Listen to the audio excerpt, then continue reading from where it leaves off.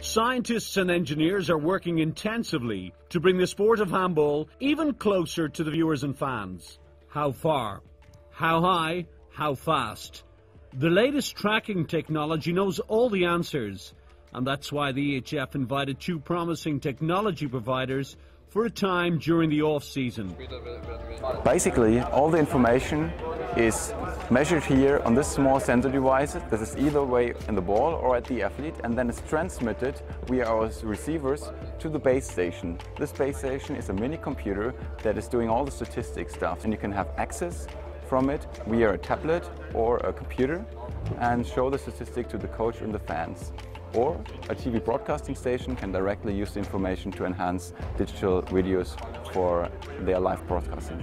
It's really important for us to, to bring the, the show, to bring the sport, to bring the handball to home, directly inside of the, the living room. Overhead cameras, goal cameras.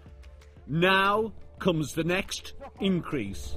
First Vision is a wearable broadcasting system that is uh, integrated into a sports jersey. It includes a camera and a live transmission system that athletes can wear during the game and that deliver the, the point of view of the athlete to the broadcaster in real time.